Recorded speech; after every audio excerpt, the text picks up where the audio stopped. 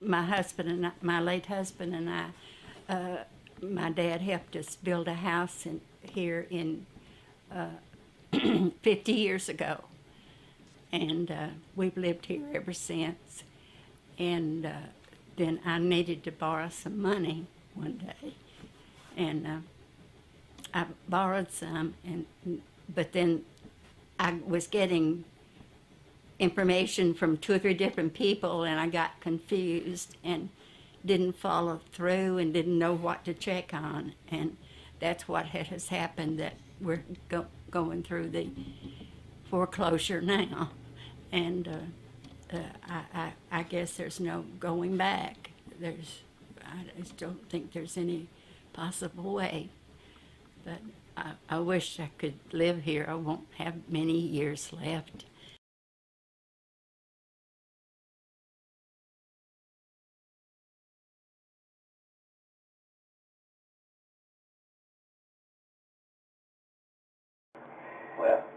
Okay, take number two.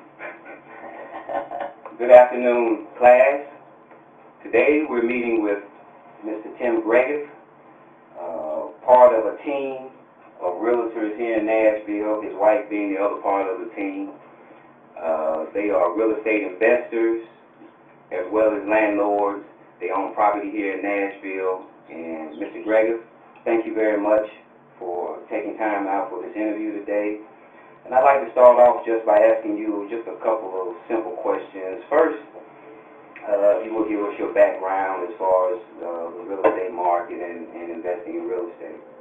Sure. My wife and I, my wife's the realtor. I really handle more of the nuts and bolts uh, out there. How often in, in, in that experience over the years have you had to actually evict uh?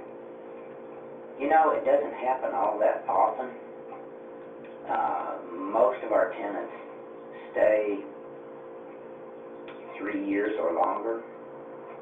Um, the ones that stay less than three years, typically they they stay less than a year. I mean, if, they stay beyond a year, they're usually there three years or longer. Yes, sir. Uh, it's that first year that sometimes kind of the ones that aren't going to stay go. Go, yes, sir. Yeah. And so, uh, probably in 15 years, I would guess we've not had more than five evictions. Wow. Maybe six.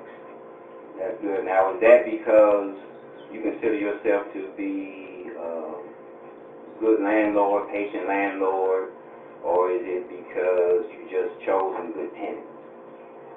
It's probably because we've done a good job of, of screening tenants on the, on the end, you know, at the beginning. Uh, But, you know, we've had several occasions certainly where folks have gotten into financial difficulty because they either lost their job and had to find another one, or they went to the hospital for 45 days for some physical issue.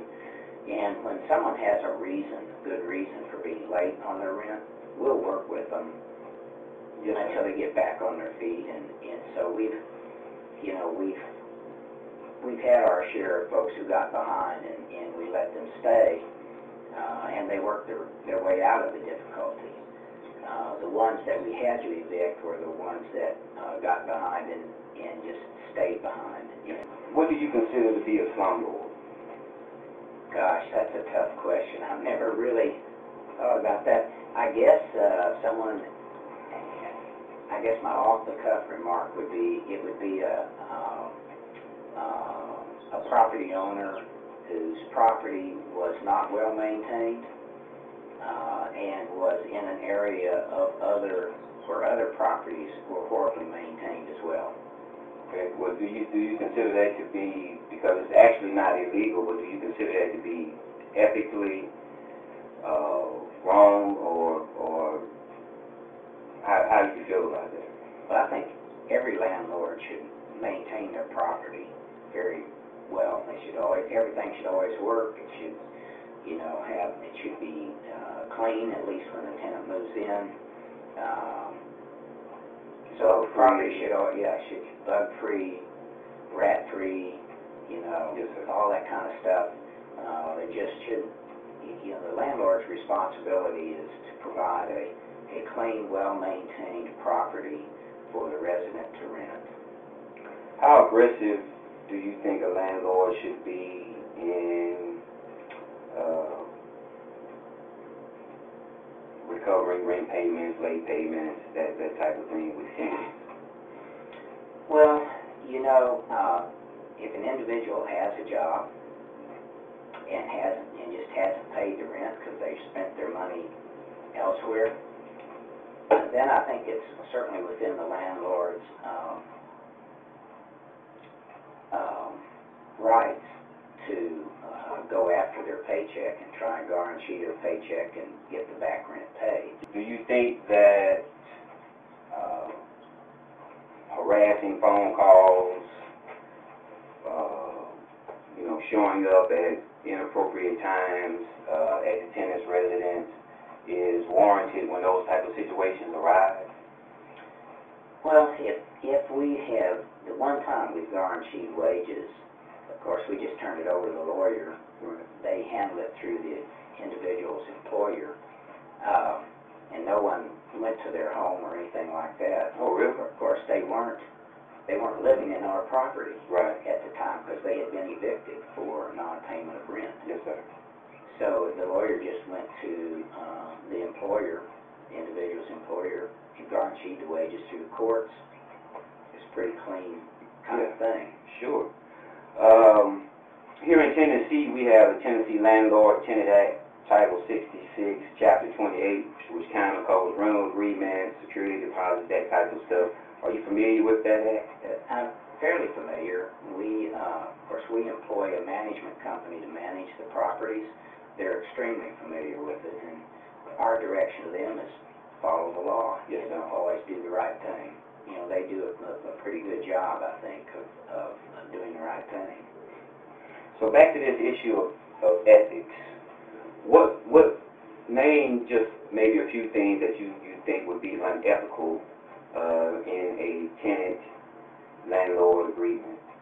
Uh, for me, I think the, the, the, the list would, would certainly include maintaining the property. Yes, sir. Uh, if something goes wrong with the property, uh, the landlord is, res- is responsible to get out and fix it, uh, you know, immediately, within twenty-four to, uh, forty-eight hours. Uh, and, uh, uh, certainly the landlord is responsible, it's an ethical thing to do to, uh, when the tenant moves out, go in and, and update everything, fix everything that you can find that's wrong with the property, so it's in great shape when the new tenants come in.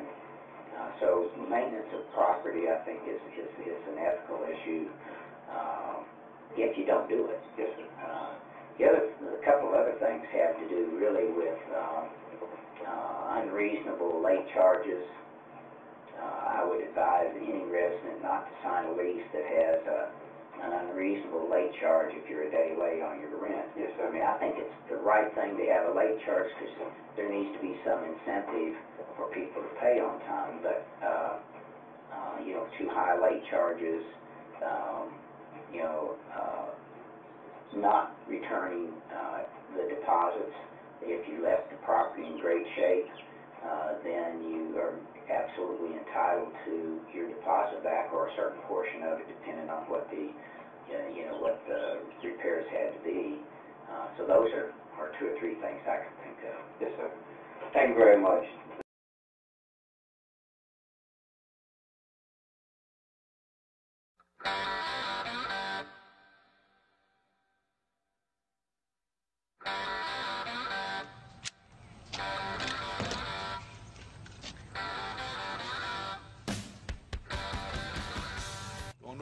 Getting dressed for work, kids. Here we are in Columbia, Tennessee, a place called the Bottoms.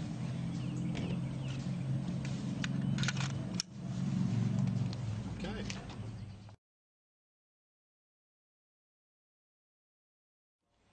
Looking for my key. My, my guy's bringing the real key, but I have a. We'll wait for the real key. He's having a big party. like, I know. There you go. Johnny, All you got to say is how good of a landlord I am. That, you just got to say how good of a landlord I am. Well, I need it on tape. Come on, Donnie. Donnie, are you running from something? Come here. You got to tell me to the camera I'm a good landlord. Okay. Three weeks later, they're going to send me a check. Okay? I'm evicting you Friday. So you need to move a little quicker than that because you're you'll be four weeks into me, and this is the first time I've gotten a phone call 22 days after the rent was due. Okay, 22 days after my rent's due from you and your brother, I don't have a nickel. Tell your brother to get off his rear end and get me some money. I appreciate your call. Mr. Bruce needs $550 times two. I need $1,100 from both from the two of you by Friday, or else your stuff's gonna be out on the street. 550 from you, 550 from him. That's $1,100. Okay. Now I got bad news. When you give me the money Friday, two days later your rent's due again. Okay. So you'll owe me uh, 1,050, and he'll owe me 1,050, all in the next seven days. But you all need to come up with the money. Catholic Charities ain't going to give you that much. I'd go to Methodist Charities, Baptist Charities, Seventh Day Adventist Charities. You got to go to about seven charities to come up with that kind of money. And, and here's what I here's what I'm asking. What are you going to do next month? Okay, we just viewed the video about Mr. Bruce, and uh, wow, I must say, sir, he is not quite the same uh, ethical foundation that you have. And one thing that kind of struck me was uh, in his conversation with two of his tenants, he told them that if they had the $500 piece that they owed him, he would pick that up today, and the following day, uh, he would owe them another thousand to cover the next month's rent. And to me, that was kind of unethical. I'm not sure why. You know, if the rent was due, maybe it's not illegal, but you know, if a person is having a problem paying rent and they're not 30 days late uh, after they paid the rent, do you think it's ethical for a landlord to respond the way he responded? Well, several things kind of struck me about the video. Yes, sir. The first thing that really struck me about the video was that he was carrying a gun. That's the most unethical thing I saw. I agree. He was, I was agree. carrying a gun. I agree. mean, uh, even when I had personally gone to collect rent Yes, sir. or gone to talk to a, a tenant, I've never brought a gun with me. Yes, sir. It's too intimidating. I Exactly. mean, that just, wow. But, having said that, you know, on the, what struck me about the requirement of, of, of rent today and rent tomorrow was I'm not sure exactly what the situation was. If they were already, you know, thirty days late on, on their rent, and it was the first of the month, and rent was due again for the second month, then you could have you know, that type of situation. Um, but what, you know, what I would, comment I would make is collect the first eleven hundred dollars, five fifty from each tenant, and then if the next month's rent is due in a day, fine, give them at least ten days to two weeks to pay, Yes, sir. you know, and then try and work out a, a deal where each month they paid the rent one week earlier than the previous month until they got back to the point where they were paying at the first of each month, or between the first and the fifth, or the first and tenth, whatever the arrangement is.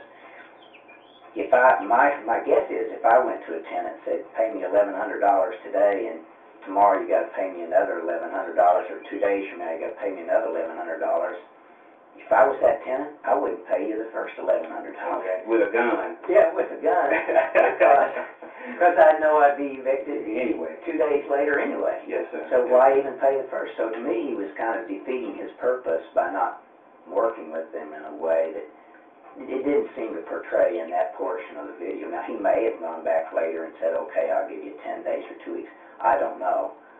But it was a strange thing. Yes, sir. Thank you for your time. Thank you for commenting on the video and taking time to watch the video. We have just met, interviewed, and been introduced to Tim Gregiff, one half of the Gregiff Realty team, an ethical landlord here in Nashville, and one I've had the, the opportunity uh, and the pleasure of knowing uh, for many years. And we have spoke to some of his tenants and, and went to a few of his properties, and they're all in immaculate shape. Uh, and none of his tenants had anything negative to say about him uh, as a landlord, and we appreciate his time today. This concludes our interview. Thank you very much, sir. Thank you.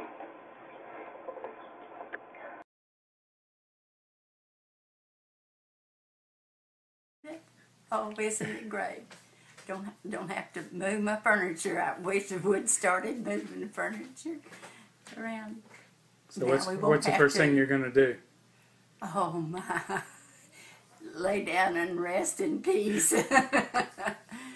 oh, it, it's it's just great how people have been so good and gracious to us, and uh, I'm thankful.